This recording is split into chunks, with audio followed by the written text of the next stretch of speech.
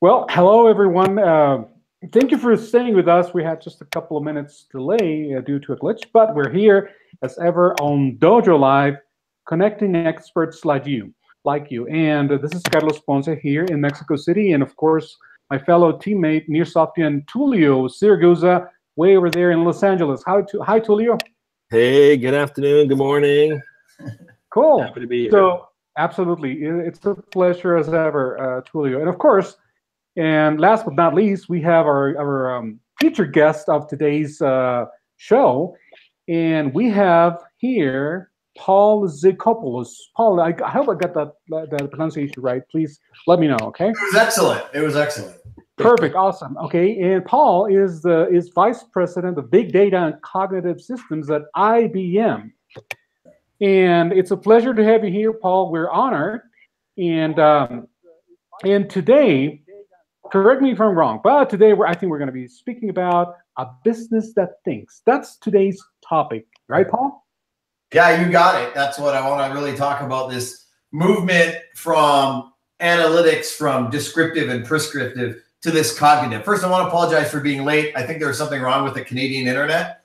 But listen, this is true NAFTA as you described. We've got Canada, the US, and Mexico. So we just had to work out a little kinks in the deal, but we're here. But I want to get to the essence of where thinking businesses are going. And you know, I've been in this business for a long time. I've written about 19 books on data and analytics. And I'm going to give you my analogy. When I started years ago, I started out telling people to go find needles in the haystacks, and that was data warehousing. And then we moved along to the Hadoop world, the big data world, if you will. And the notion behind the big data world was let's put all our information into a data lake and we'll be able to find insights. Well, the equivalent of that in my analogy is we decided we would find the needle in the haystack if we added more hay. Well, we didn't quite get there. And today it's about finding needles and stacks of needles. And that's what a thinking business is all about. I'm sorry, I was on mute. Well, thank you so much, Paul, for elaborating a little bit on that. And Okay, here's the thing. I'd like to ask you uh, just a couple of questions, Paul, yeah. and then we can uh, start moving on in more in depth on, on today's uh, chosen topic. First of all, can you uh, please uh, tell us a little bit about you, about you, your your your your background, and of course what your role at IBM. Let's start with that, and then we can continue with. Uh, all right. What can I tell you? 23 years at IBM. It shocks me sometimes. I think that's a statement to the great company I work for. And, you know, listen, all companies have their trials and tribulations and their successes, but it's a company that's steeped in tradition and in technology. And so, you know, I've been there 23 years. I spent 10 years in the development lab and database, and I started reaching out to clients there with writing. So I wrote the book DB2 for Dummies um, and a number of other database books. Uh, then I graduated out of there. I kind of came out into the field and worked with clients fell in love with clients. So ever since then, I've been with clients. I wrote the book Hadoop for Dummies, for example. And then I've done some offering management, skills, enablement. And now I'm kind of an evangelist around analytics and cognitive systems. And that's me in 23 years at IBM. And the only thing I'll tell you is 23 years at IBM, 23 years of analytics, I've become really popular and cool in the last two to three years. All of a sudden, everybody loves analytics. So this is a good thing. Thank you so much, Paul. And I think it is definitely. But uh, in, okay, here's the thing. In in elaborating a little bit more into today's chosen topic, is we're going to be taking an in-depth look into the mysterious world of deep learning and AI. And that's definitely an eye grabber, an attention grabber. You know, when you say the mysterious world of deep learning and AI, doesn't get any more uh, appealing than that. So please tell us about why you chose this particular topic. Well, here's the mystery. We all hear of AI, and uh, I know when I tell my parents about what I do, uh, I don't still know if they understand it or not, but I say I do artificial intelligence, and my mother gets all upset. Oh, does this mean it's going to take over the world? And she's seen the movie Terminator 3 and those types of things, right? And that's not what that is. That's called general AI, not taking over the world, but that kind of intelligence. We don't even expect that in our life until about 2080, 2070, so somewhere in there. The mysterious world of a deep thinking business is mysterious because this is about what we call narrow AI. And it's allowing computers to invert the way we operate. So, the way we operate today is we write a bunch of code about a compute to a computer and we execute that code. And when we want to change rules or the way that our code works, the way we score a credit risk, the way we score a customer who's highly to a trip, we change the rules, right? We learned if you did this, then you do that. You go to the computer, type it in, you recompile, and you deliver the program. What the deep thinking business and why it's mysterious is we flip it on the head. And instead of writing code, we give data to the computer. We don't give code to the computer. We give data to the computer and we ask the computer to go figure out the pattern. And what's interesting about that is if I want to write a program that can drive an autonomous vehicle and turn right at a certain intersection, or if I'm writing a computer recognition example that would know what the letter A looks like, or I want to figure out someone who's not going to pay their credit on time, I don't write new code. I change the data. And that's what makes it so mysterious are these algorithms that are looking at the data, that are finding patterns, and they're learning for themselves, creating these neural networks that operate as a loose analogy, much like our brains do. That's why it's mysterious. Perfect. Perfect. Thank you Thank so you much, so much, Paul. Uh, okay, Tulio, let me pass on the mic to you. Yes, so Paul, this is a very intriguing, exciting topic for me. I've been following for many years, and uh, so tell us a little bit about where does this, where does the rubber meet the road? You know, why is this such a big deal? What's the intended value that can be extracted today? Yeah, can you share a little bit about that? Yeah, yeah, absolutely. So first, I'll tell you, um, the value hits the road in that we're in this era of um, we're not in the golden age of AI. We're in the golden age of AI assisted productivity.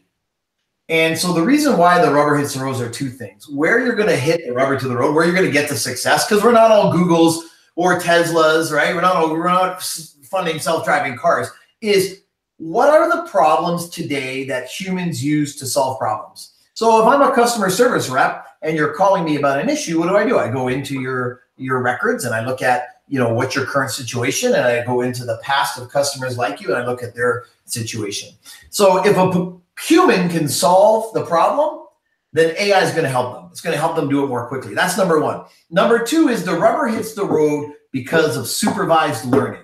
So there's kind of two major kinds of this deep learning in this mysterious world. Really three. There's supervised, there's unsupervised, or, or and then there's semi-supervised. Supervised learning is when we know the outcomes. So I'm just going to talk about that one. You can imagine if I wanted to teach a computer what an A looked like, I would give it 100 A's.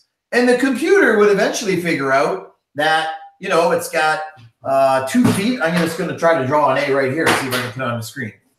You guys told me to use a pen and not technology. See my A right here? You guys see that? Okay, now I'm going to show you what a computer would see in this A, right? Look at the circles. A computer would see the tip, it would see a bridge, so the apex to bridge, and it's got two feet. But the computer would recognize this as a whole bunch of numbers. So this would be supervised learning. So if I started flying A's across, hundreds of A's to the computer, eventually the computer knows what an A looks like. That's supervised learning. We know the outcomes.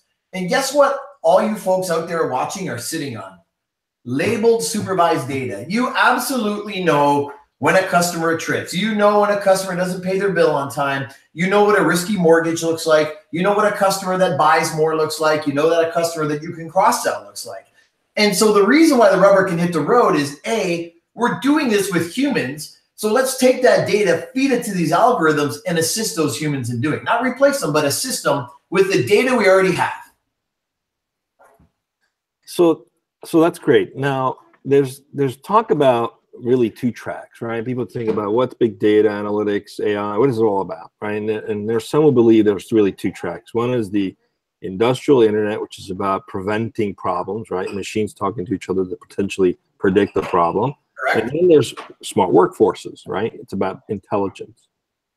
And um, what can this do, like for example, with with life sciences? If if I can if I can find a cure to a disease, but it's going to take I don't know, millions of permutations of different formulations.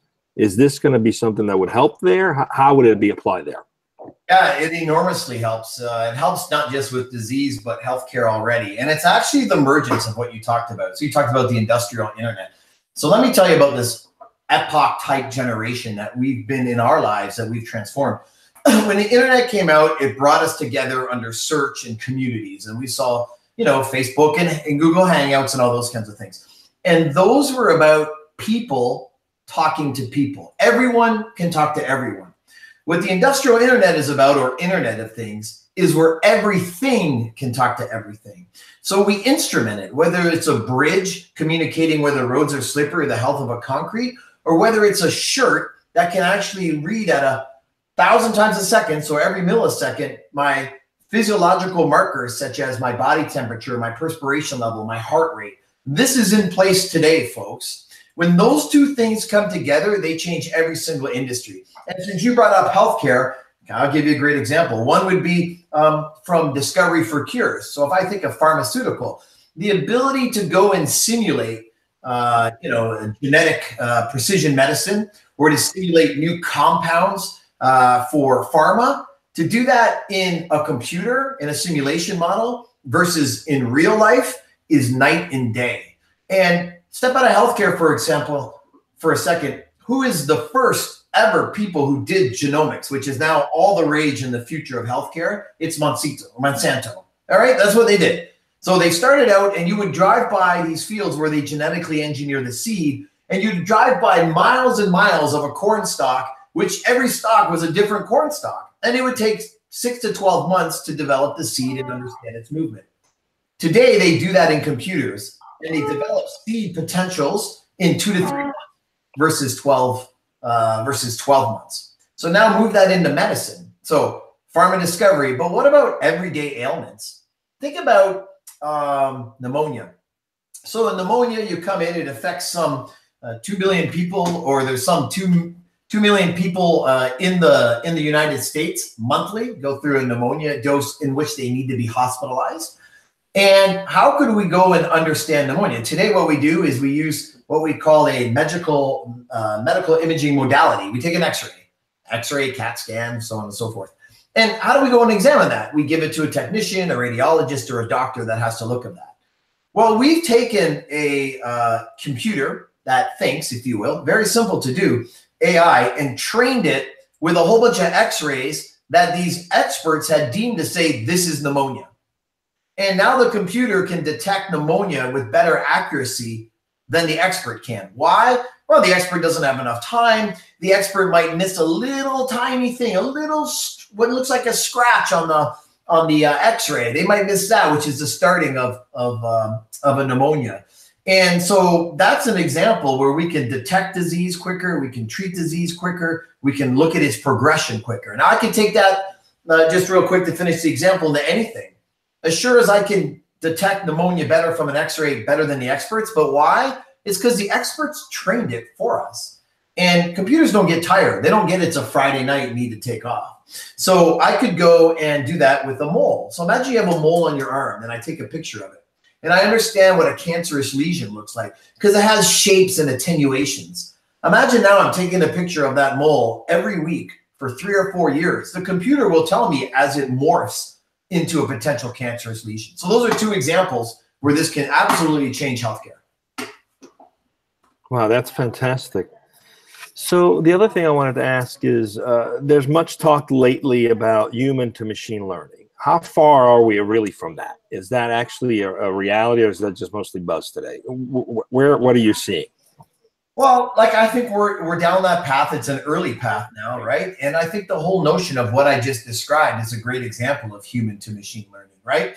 There's different ways in which we will teach these deep neural networks. And this is why I said earlier, the way to get going and the way that makes it real is supervised learning. So go back to that X-ray example. I can give you a thousand X-rays that a human expert will go and say, these 900 is pneumonia, these 100 is not. So that's a human transfer into machine. And the reason why AI will be even more important if you think about it is as we go into a new generation of workers, millennials come up, Generation Z will follow, and then Generation Alpha after that. How do we transfer the knowledge that we have? So today we talk about transfer of human to human learning. That's very difficult. Human to human learning is us talking today. Maybe now my great oncologist, cancer doctor at my hospital is retired. How are they going to dump their brain and their knowledge into this new um, these new doctors that are coming in? But if we used and trained artificial intelligence and we're a deep thinking business, we would be training the computers to know what we know, and that would help in this transfer learning. So it's happening today. Wow. Okay. So I'm very curious. What are some of the projects you're working on? What are your what are your like oh solving, changing? This is very curious. Share share some stories with us. Yeah. Uh, listen, I work on everything. It's funny. One of the interesting things in my domain is it's on very cross industry. So for example, um, I'll bring up uh, the sensory of Stevie Wonder. So I don't know what the ages of all the listeners. Sometimes when I get to the millennials, they may not know who Stevie Wonder is. But so he's this famous musician, right? Um, and they may not know he's blind. Okay, so Stevie Wonder is a blind musician. What most people don't know, even if they love Stevie Wonder, is why is he blind? And he's blind because of something called ROP, the retinopathy of prematurity. And so when you have a neonatal baby, I mean, this is the most precious life. They're born early uh, we incubate them in the NICU, which is the neonatal ICU. So this is a project we did at Toronto Sick Kids Hospital. As we incubate them in the NICU, they oxygenate the neonatal baby, and that's what sends more children home with their parents. Well, in Stevie Wonder's case, they gave him too much oxygen and it burned the back of his eye, of his retina out, and that's why he's blind. And when we started to investigate what do hospitals do when they learn, they do what we call, or when they measure, they do what we call these top of hour or spot readings. I measure the oxygen rate for Stevie Wonder every hour. I measure the temperature of the baby every 15 minutes or every half hour. And if there's not an alarm sounding, well, then guess what? We're not going to worry about anything. So, what we did is we decided to start measuring certain physiological markers every millisecond. A thousand times a second we would measure instead of once every hour or half hour and we saw about a 20 to 30% difference in the oxygenation rates at a certain hospital than what they thought they were giving to what they were giving. This is what they thought, this is what they gave, right? So that's a great example of a really cool project I'm working on. And at Sick Kids Hospital, it's about trying to predict the onset of a certain disease called pneumococcosis. And we understand the physiological markers of this neonatal baby, and that's what we did at Sick Kids. But then I could transfer you all the way uh, to some work that we did at H&R Block with their tax consultants. We literally taught the computer at IBM, uh, our Watson computer, we taught it about U.S. tax law. These are millions of pages of, of, uh, of documents and cases and stuff's always changing. So once again, this is about feeding different kinds of data all the way to, and this was my favorite, I'm dressed to go because it's 20 degrees in Canada. That's centigrade. So uh, I, I, like to think we stole the LA weather today. That's about 74 degrees, 72 degrees Fahrenheit. And we've been in a long winter up here. So I'm going golfing. Well, we taught a computer all about golf. We taught a computer at the Masters what golf was. What was a player who was excited because they, they sunk a putt? And what was the score? And what was the crowd cheering and all that kind of stuff? And the computer was able to assemble personalized highlights so I have my app and I say, show me the highlights. It knows who my favorite players are. That's structured data. It knows the events that took place because of gestures and crowd noise and scores. And it would assemble my own highlight reel. And I could even tell it, don't put a spoiler moment in it. Don't tell me what happened. Just get me excited. And we could customize that for every single individual in the world who signed up for the app. So from sports all the way to medicine, all the way to retail, this stuff's changing the world. Those are just three of the many projects I'm working on. Wow, how exciting! It is. I, I read recently some uh, an article. I forget where it was that between Google, IBM, Apple, and I think Amazon, over thirty billion dollars have been spent in AI research and development just in the past two years. That's just astonishing. You know, so I get these projects you're working on, which is great, but what's the wh- where are going? What's the end goal here? And how does how does like I mean I also read something about Sergey, the co-founder of Google, talking about responsibility, right? So what, what are your thoughts on that as it relates to the potential threat to jobs and things like that that some people are concerned with? So I love where you're going uh, with that question. I will tell you, uh, I'll tell you our, our point of view at IBM um, in terms of the jobs. This is not man versus machine. This is man or woman with machine. Now there will be job loss. There was job loss when electricity completely revolutionized, you know, our industry. There was job loss when 80% of people were farmers until we delivered a mechanical engine and things changed. However, the people that should be worried about losing their jobs are the people who stick their heads in the sands and pretend that this change is not here. It's man with machine. Okay. So managers that want to pretend that AI won't be a big part of their customer service desk, they're probably going to lose their job because they just didn't keep current. Now, that doesn't mean you've got to be a programmer, but you have to be comfortable in using that kind of technology. And I'll give you a great example. So we all know Garry Kasparov, right? champion chess player that IBM beat in what the 1994, 93, whenever it was. And when it beat him, and I don't know if anyone knows the iconic photo, he's like, he's like like this, right? It reminds me of a calculus test in university back many years ago, which I still have nightmares. But he said, you know what? That computer beat me. It wasn't smarter than me. It had access to 100,000 chess matches. It had access to way more chess matches than I could have. Had I had access to those same matches, I could have beat that computer. And then was born this thing called Centaur Chess. And Centaur Chess is chess in which you can play any way you want. You can play you as a human, you can play you with a computer, or the computer can be its own player. And so, since the invention of Centaur Chess, I'll, I'll share with you three really interesting facts. One, there has never been more excitement around chess. The numbers are way up in chess more people are playing than ever. That's man with machine. Number two is there have never been more grandmasters in chess. So this man and machine actually let other commoners, if you will, elevate their chess game and become grandmaster status. And I like to think of that as the way that our data is supposed to work. Today, big data analytics and AI, it's really for the privileged few and we want to democratize it for the many. Everybody has to get involved in data. And Centaur Chess allowed that. I could become a Centaur player with the help of a computer. Their games got better. But here's the big stat they have this big tournament, Centaur tournaments. And again, some businesses just submit a machine and it's its own player. And when you look at the results of the last tournament I looked at, 53 people won in the total tournament that were Centaur chess players, man and machine.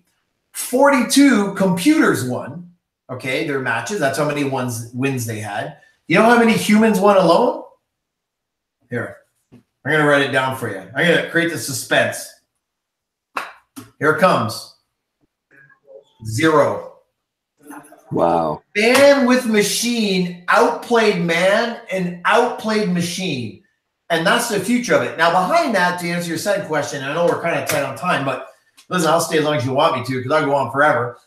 Ethics, folks, especially if you're in, in the US under politics, I think ethics and explainability of how the algorithm, algorithm arrived at the decision is going to be the tripwire that hits everybody. Everyone's trying to run to AI, but they're putting governance as an afterthought. You put it as a forethought. I have to explain the model. And in a world of fake news and bias, you need to be defensible about those algorithms, either in a court of law or in the court of public opinion.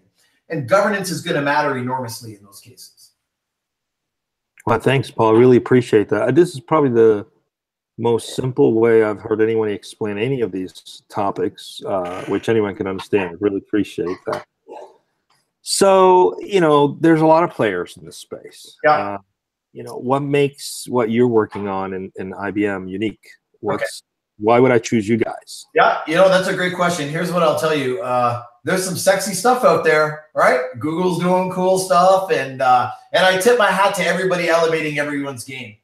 Uh, but I want you to step back and think of a couple things. First, I'll tell you, uh, and I mean this in a humble way, but I can work wherever I want, right? I have that kind of credentials and that long in this industry, and it's that as a topic, and I choose to work here.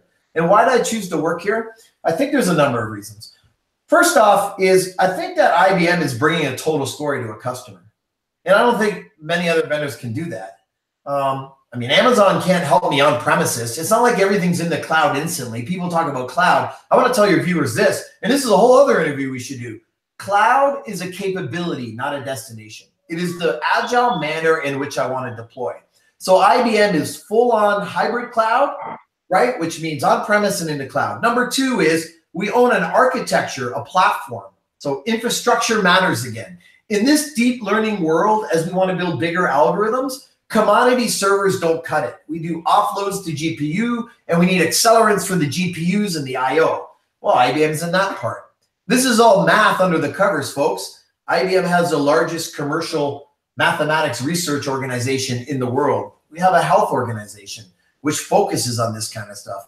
So when you look at that, we're in an ability to change the world with the whole solution. We have a governance solution, those kinds of things. Nobody else brings that. And here's the final thing I think I'll tell you. When you go to leverage cloud APIs, the one thing that IBM doesn't do, which I'm proud of, is we don't use your data to make us better and make profit off of your data. If you go look at the uh, Azure licensing, and it's not to take a shot at them, it's just a different business model, right? It's not, for some people, there's nothing wrong with it. But once you stop using the Azure business model for visual recognition, they can keep your images. How do you think Google built their visual recognition model? You loaded up your photos for free and they went and looked all over at your photos. So I think that's one thing our CEO has put in place is that we're not going to use your data to make us smarter. We're going to use your data to make you more successful. And, and I think that's a pretty cool proposition to have for the right clients. And that's what makes us different. Well, that's great. Hey, thanks, Paul. I, I, love to see the enthusiasm and excitement from someone who's been with a big company for 23 years match up what you typically see from startup guys. Uh, congratulations, great job. Uh, I'm going to pass this back to uh, Carlos with some final questions. I know we're coming up on time. And well, first of all, before I jump into any other questions of my own, uh, two things. If uh, this is for the audience out there, um, if you have any questions for Paul, you can send them over. If you're watching out there in somewhere in the world, and you're not, I mean, you're not part uh, watching at Nearsoft, you can simply go to Twitter and it's at Dojo Live. Simple as that. At Dojo Live. Just send us your questions. We'll read them back to Paul right here, and we'll follow up. Or if you guys are listening from Nearsoft, we have a channel for that, and you know which one it is. It's Dojo Live. Questions. Actually, we have a question from, from one of our guys here. This is from Fausto Guerrero right there in Hermosillo. Uh, Fausto is asking Paul when when uh, well he's wondering when we're going to ask him specifically about cloud. So that's what he's asking. Okay, you jittered in there on me, and I don't know whether that is my internet or yours, but it was something specifically about cloud. What was that question again? I, am yeah, I'm sorry. Uh, I was saying that we have a question from uh, one of my teammates in uh, in Hermosillo. This is from Fausto. Fausto is asking when are we going to be able to have a second conversation with you about cloud? Well, hey, whenever you want, I'm going to come down. I'm going to do it live from Mexico City. How does that sound? No, no, come, come down to Hermosillo. Fausto has an amazing barbecue in his backyard. We can well, make that's some. Right. That's, that's why I travel. So yeah, we. Yeah, but Tulio, don't forget that here in Mexico City at the office we have a nice, very, very nice rooftop garden where we can actually barbecue. We can import Fausto and he'll take care of the grill, right? We have to fly a whole hour to get there, though. uh, yeah, we can do that, and, and I think your viewers would greatly benefit from that. Uh, I see clients struggling with this all the time. What their path is to cloud, talking about security, talking about agility and cost so there's good stuff to know there. So uh, yeah, let's uh, we'll start working on the next scheduling event for that one. How's that sound? Perfect, awesome. So Fausto, there you have it. Uh, we're we're, we're going to be coordinating with Paul for to schedule a second interview. Not likely to happen this month because we're booked, but it's probably after the month of June. So we'll keep in contact with Paul. So thank you, Paul, for your willingness to yeah. share your your wisdom here with the guys. All right. So well, I guess uh, any more? If we don't have any more questions from. Oh, well, I have something to tell you guys. okay, cool. Yeah. Go ahead. I'm gonna put my Twitter handle here. I don't absolutely know that's the right way. It's big data underscore Paul Z. And okay, you, can, can, that up there? Can you show it to the oh, camera again, please? Come out right, or does it come out backwards? Is it coming out right? Back it up a little bit. There you go. There we go. Okay. Okay, I just got a screenshot of that. So yeah, absolutely. So here's the deal, guys. Uh, we ran into some technical difficulties today, or I was going to show you some kind of live demos. I was going to build a neural network that created a Super Mario Brothers world, um, and we were going to do some other kind of fun stuff. Everything that I talk about here, before I talk about it on stage or online, it hit Twitter long before then. So I encourage you to jump on there uh, and check out some of the stuff I do. It's not in your face IBM advertising at all. In fact, it's it's not even close to that. Only 10% of stuff's IBM. It's just general stuff on deep learning. And the other thing I'll tell you, well, I've been in analytics for a long time, so I understand SQL, NoSQL databases inside and out. I'm pretty new to AI. I know Hadoop very well. I know Spark, but I'm new to AI. I've been in this journey for one year, and people following me on Twitter have seen the journey. I share with you where I learned the journey, where I was able to start to create these demos, and some practitioners to follow. So check me out on there. You'll up your game in AI and deep learning, and feel free to reach out to me whenever you want. Thank you, Paul. And of course, as you probably know, can you hear me? Oh yeah, you cut out on me there. Okay, can you hear me now? Yeah, you're back. Yeah. Ooh. Uh, well, fortunately, we're just uh, just a, few final words because we're about to wrap up today's session. And today, uh, if for whatever reason you uh, if you're watching and then you happen to have stepped in late, uh, you can watch this interview. It's going to be right there on the Dojo Live website, which is right here, dojo.nearsoft.com. Just go there, and Paul's interview, our, our conversation with Paul is going to be right there, in, um, specifically under uh, interviews. Okay, so that's go to the interview menu and then look for, for Paul for today's interview. It's it's going to be right there. Just we can, and all the uh, the contact info for Paul is going to be right there too. Okay, with that being said, Paul, the only thing left for me to do is hang on. I think he's put up the. Yeah, here it is, guys. So there it is. Super Mario Brothers world, right? Okay, cool. Yeah. Created it on the side using a computer, and well, I just died. well, that was not good. I wanted to give you a better show than that, uh, but it's not going to happen. Well, we'll, try it again here. so this game is generated by the computer in the background while we talk. Do you see all that cloud right here? Do you see how it's half built? That's because my model isn't perfect yet. I'm just learning how to use it, right? But you can see that this is the game, and a human didn't create this. You can go download this game and, and play it all you want. Oh, I died again. So, anyways, I was gonna go play that game for you, but again, this game was created by a computer just looking at other Super Mario Brothers games. So I thought you'd get a kick out of that. Wow, that's so cool. It is cool, isn't it? Well, we got it to work. We had problems with it earlier, so it's it's yeah. great that you're able to show yeah. that to us.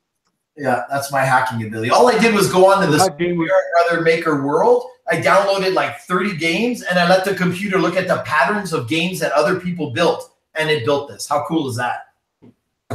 Whoa. Yeah. Super way, cool. way cool, Paul.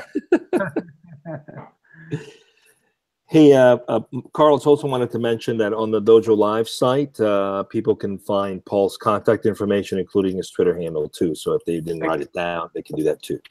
Great. Guys, exactly. I your viewers the best. I appreciate the time. Yeah. Paul, okay. I, I encourage you to uh, tune in next week, actually. I have an old colleague I work with 25 years ago coming on as a guest who I consider really a national treasure. The father of TCP IP himself, Vint Cerf, is going to be our guest. And uh, it's 30 years since the internet was really uh, invented after ARPANET. It's, the big question could be what's next? So uh, tune in because that's going to be an interesting show, I think. All right, guys. Take care. Well, thank you so much, Paul. Well, we're going to be in touch, and I hope you we had a great time today. We're going to be uh, in touch soon. Thank you so much. Okay. Bye-bye. Bye.